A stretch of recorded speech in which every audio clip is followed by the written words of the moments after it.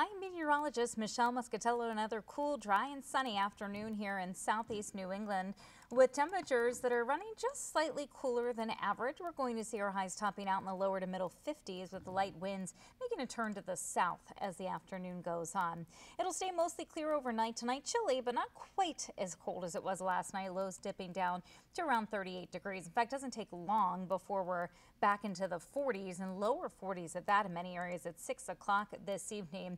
And then overnight tonight, staying around the upper 30s to lower 40s. That's where we start our day tomorrow. Warming up into the low to mid 60s tomorrow afternoon. Going to be a beautiful day with a little bit of a breezy southwest wind, just the start of a milder trend. Meanwhile, while we're enjoying dry weather, We've got Nicole, still a tropical storm as of the last update from the National Hurricane Center. It's going to be making its way towards Florida. Still forecast to become a hurricane on approach. A storm track here brings it over the northern Bahamas during the day today and then moving onshore into Florida overnight tonight. Again, the wind field with this is very large. So you have to think about impacts well away from the center of the storm with tropical storm force gusts out 400 plus miles from the center of the storm. So much of Florida going to have a windy, stormy night.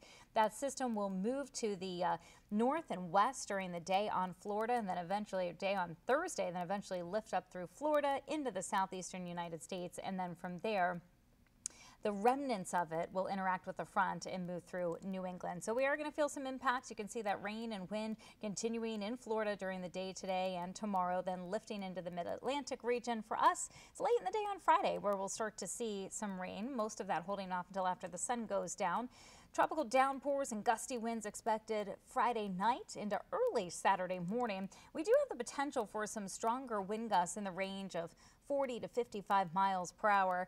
Rainfall amounts of 1 to 2 inches possible, and there could be some minor coastal flooding and minor beach erosion. So a lot of impacts here in a short amount of time for the end of your Veterans Day. But out ahead of the stormy weather, it's turning milder from 60s tomorrow to near 70 on Friday. All the details on the weekend forecast are over on Fox Providence.